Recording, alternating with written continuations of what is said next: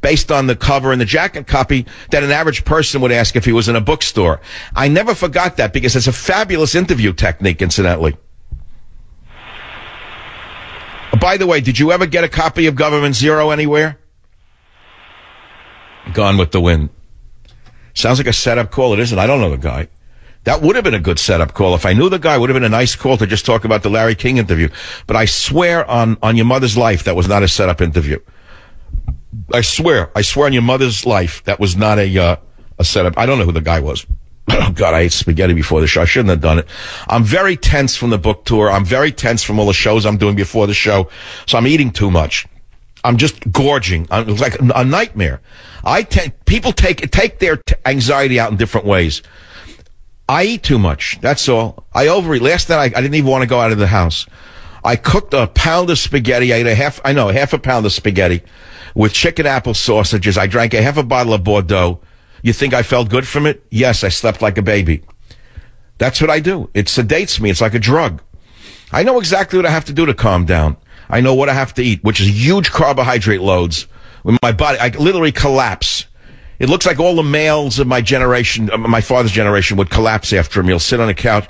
Think of like Greeks or like Mediterraneans. If you go to their house, think of my big fat Greek wedding.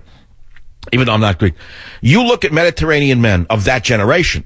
If you go to the house, let's say for a, a dinner party, dinner, they didn't call it a dinner party. So come over for supper or whatever. After the men ate, didn't they sit on the couch and open their belts and take the top of the pants open? Because the stomach, and they'd sit moaning, mm, and then the mothers knew that they served them properly. As so opposite to California cuisine, where there's nothing on the plate, no one knows what they even ate. They go in, they get a bill for $300 and they ate nothing after going to McDonald's on the way home. Okay. Back in a minute. Join the Savage Nation. Call now 855-400-SAVAGE. 855-400-7282. Savage. My Savage Nation is sponsored by SwissAmerica.com. It's the only company I trust to protect my wealth. Call 800-B-U-Y-C-O-I-N. I just got an email from someone who says, I just watched your interview on Alex Jones. You should run for president now and quit radio. I got to tell you the song. I started today's show. I was dead, dead tired, exhausted. The minute that sound goes off, and the minute I start the show, I have so much energy. I could stay on the. I think I should be on the air 24 hours, like a, a, a cam follows me. Like take a microphone to bed, and like wake up and, and do my dreams online, and then get up and say I just take breaks for the bathroom. I, it's so addictive. There is nothing more addictive, by the way, than the media. I got to tell you, it once it gets in your blood there is no escaping it. You can't leave it. There's no leaving the media. It's uh, hard to. It's like another consciousness that's attached to your brain, and when you're not expressing it, you fall apart. You become exhausted. I, have put it many different ways in, in different. By the way, in the next hour, I'm going to play a little bit of the Alex Jones interview because people are buzzing about it, and we're going to talk about beards why men are growing beards. And some of the guys, one guy calls us men with beards are being referred to as lumber sexuals. That's very interesting. Another guy says beards show men trying to reclaim masculinity. And the military started the trend. That's interesting. That's right, because let's say women can't grow beards. It's a definite differential.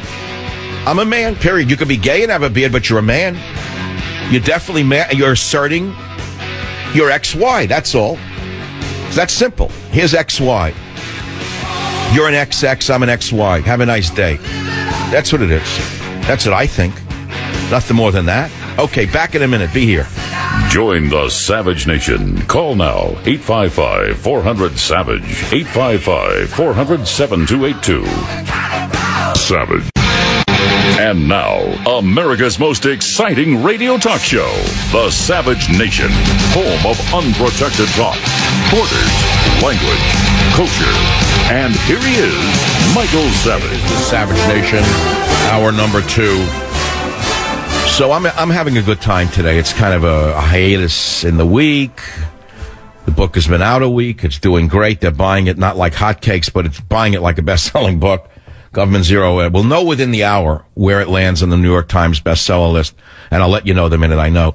But I was having some fun in the last hour, and I said, beards, beards are popular. Why are beards popular? It's a social phenomenon. I want to talk about it. And some callers had some great ideas. And then I went and posted a picture of myself taken in 1981 by a very famous photographer that he recently gave me. I forgot about this picture. I remember the sweater to this day. That was my Berkeley sweater because I remember. Something. I was at UC Berkeley working for my PhD. I had that. It was like my Berkeley professor sweater that I used to wear going over the Richmond Bridge. And what a head of hair, my God. Anyway, I had a full beard. I, I don't know if I like the. I, I don't know. Looking at it, like a hipster beard. So I'm looking at my Facebook comments that people are making. Some of them are very funny. I'm not going to read them all, but some of them are hilarious. Some of them look like just stuff that people would write in your high school yearbook. And some of them are nasty, you know, idiots. They just can't take anybody who's happy or famous. Guy writes, is that you when you were a red diaper doper baby? Which is funny. A woman, Harry says, grow out that beard again. Tisha says the beard. Another guy says, the year I graduated high school. Another one says, you still look the same. Thanks, Jeff. And he says, I enjoyed you on Alex Jones yesterday. Uh, I don't know, someone now. Mike, where did them funny voices go? You would have me dying when you do the New Yorker. I don't know what that means. The man behind the voice, love your show, handsome and smart. I love your eyes. That's very touching. Someone saw my eyes. Another one says, you mean it's not Robert De Niro? Another one says, Uncle Mike, awesome and handsome. Here's an, Michael, I'd like to have a copy of the radio program of the blind young man who learned how to play instruments and his father taught him to listen to noises in the neighborhood. That was unbelievable. You know, it's funny that this man should write that Hector Roca. That show was 15, um, I'm syndicated by Cumulus three years. That's 10 years ago. A guy called from New York who was blind, a musician, and he had this audience spellbound. And he said that he was blind, he was born blind to something and his father used to sit him down in the stoop or in a chair in the street, and he learned to listen to all the sounds in the neighborhood. That's how he communicated. His ears became that sharp. I never forgot that. I thought about it the other night. Look at this comment. The after effects and of love by the sewer plant. Come on, that's mean. Love. Hillary would have loved you back then. Still a hipster botanist. Nah, not anymore. I wish I were, was. The beard reminds me of Shel Silverstein. Here's one from Macedonia, the last one. From Konstantin Isakovsky, I am speechless, Dr. Savage. Greetings from Macedonia. Okay, what can I say? Should I not have posted a picture myself then? Beards are popular now. So I'm saying I had a beard before they were popular. That's all. I, mean, I love the guys that have beards. I mean, we had beards too. So I figured, okay, that's what I look like. And, and then what? Is there anything more to it than that? I don't know. Now, I want to do something. There is a problem with beards because you're, you're associated at, at the TSA with ISIS. That's the problem. If you have a beard, they'll do a double, a double, triple, uh, check on you. You know that. The terrorists were smart. They, sh- they shaved their beards off and they would look like Democrats. So there is a problem with that, the beard. I'm not so sure. I may have to shave it off again, but I don't fly anywhere anyway. I'd rather drive than fly. Who wants to go through that? I, I do once in a while. I'm on the advanced list on, on Southwest where you pay a few bucks and then you march through the line. Isn't it like a real big deal? 50 bucks. I know. They march you through a separate line. You think you're the president.